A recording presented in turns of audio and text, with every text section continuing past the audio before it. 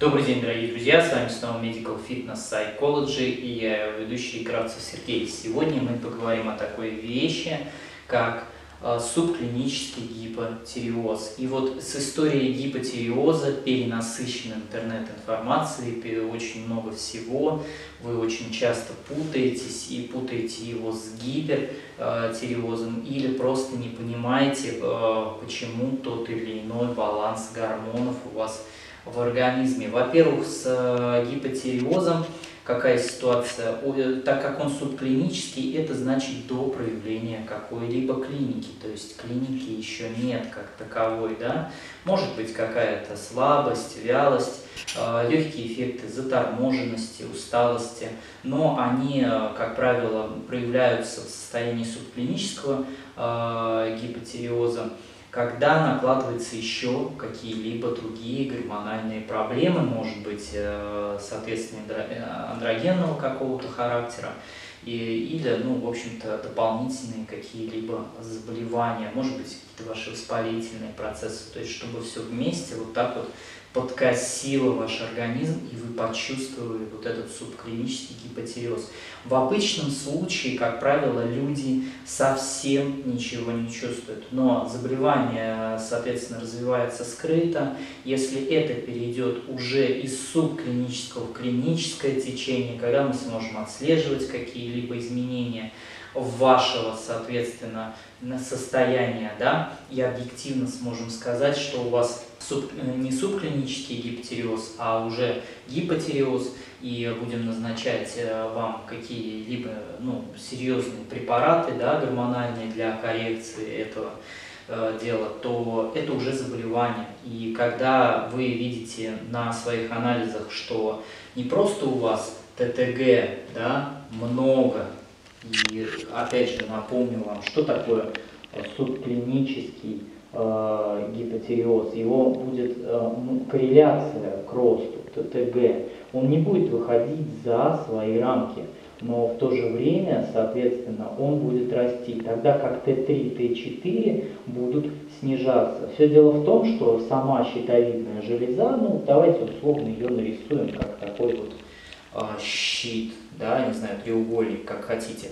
Она, соответственно, направляет в мозг, мозг будет кружочком, в мозг э, путем кровотока, который омывает щитовидную железу, потом мозг, да, и мозг наш, вот, э, там есть у нас гипофиз, гипоталамус, то есть э, вся эта гипофизарная система, которая, соответственно, контролирует вообще, ну, большую часть эндокринных процессов в нашем организме. И, соответственно, все это дело омывается, и получает гипофизарная система всю, всю информацию о, в том числе и тиреоидах, и видит, что не дорабатывает щитовидная железа. И мозг ее пытается в ответку большим количеством ТТГ стимулировать. Да?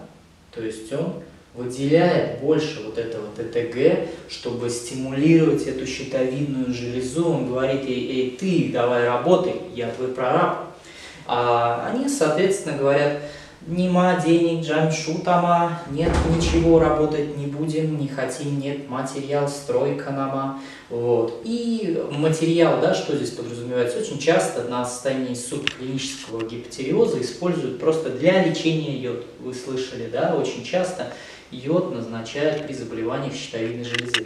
И йод – это именно та история, когда не хватает гормонов самой щитовидной железы, а ТТГ много, потому что многие говорят, ну как, если у меня гипотиреоз, гипо это значит мало, значит у меня всего должно быть мало, в том числе и ТТГ нет.